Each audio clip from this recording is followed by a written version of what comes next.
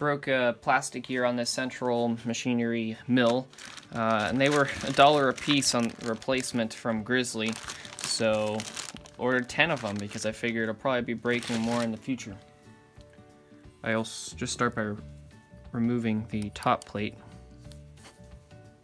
Alright, so these are all uh, loose, they could come out. I think I'm just gonna lift this up though.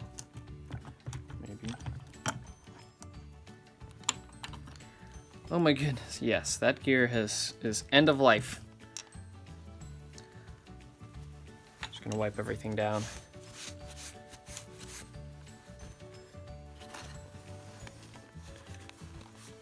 I don't want there to be any uh, shavings of, you know, aluminum or something that could get in between the teeth on the gear.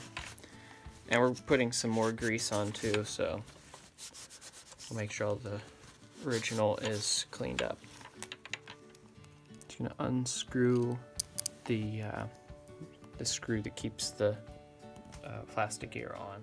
So if you look, uh, there's a little key hole there, and the purpose of that is to hold uh, this. Let me see if I can. This guy. And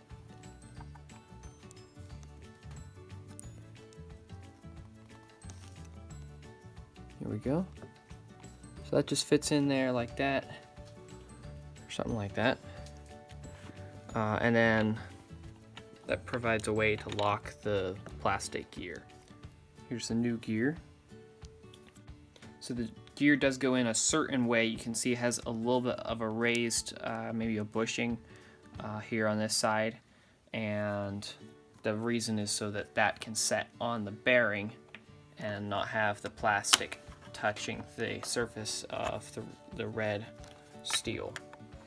So just orient it with the key and you may be able to get it started with your hand and then just tap it on.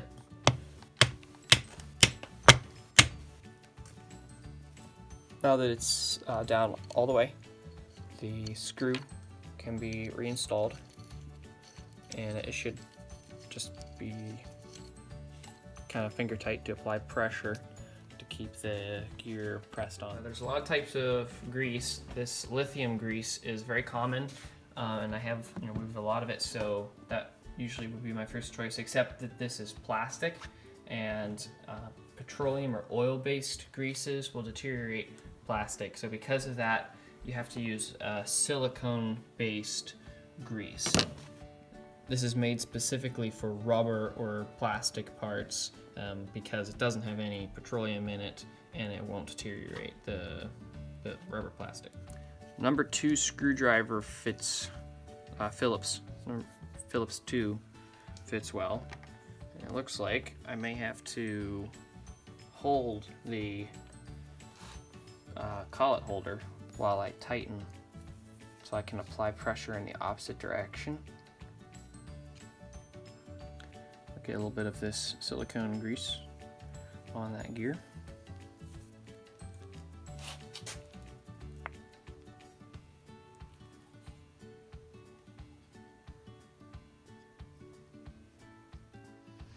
As much as it is a pain replacing, you know, plastic gears that break, it is a smaller machine, you know, not intended to be used with as much, uh, you know, power. So actually, it is kind of nice that there is a pretty easy to access, um, you know, like a fail-safe, so that this will always, the plastic gear will always break before one of the metal gears.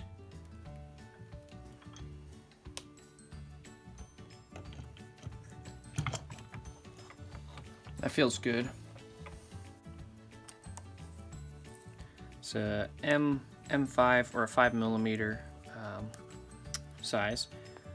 And this one has a ball on the end, which is really nice whenever you have to work with um, screws that they've got up, like this one's up close to the motor. You can still keep you know, a continuous rotation and still get out of the way of the motor. which is pretty nice.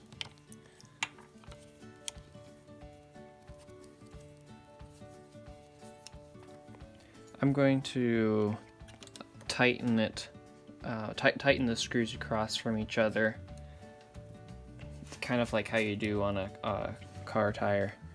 Um, just it, it it's a common practice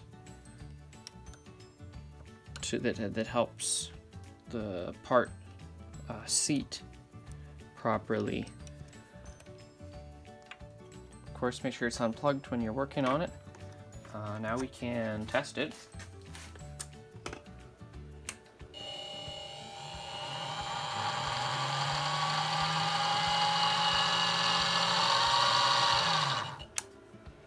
All right, that's it.